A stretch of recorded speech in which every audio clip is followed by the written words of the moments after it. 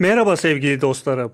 Birçok arkadaşımızın dört gözle beklediği evde bakım maaşının 2023 itibariyle ne kadar olacağı belli oldu.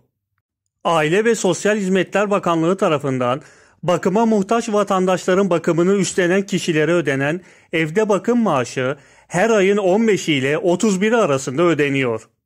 An itibariyle 3340 TL olan evde bakım maaşı memurların alacağı zam oranının belli olmasıyla zamlı olarak hesaplara ne kadar yatacak belli oldu.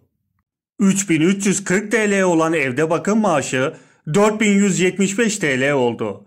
Yani evde bakım maaşı alan kişiler 2023 yılında maaşlarını zamlı olarak 4175 TL alacaklar. Evde bakım maaşı alınabilmesi için iki önemli kriter vardı. Evde bakım maaşına başvuracaklar için tekrardan hatırlatmak istiyorum. İlk önce yetişkin engelli raporlarında tam bağımlı ibaresinin işaretli olması gerekiyor.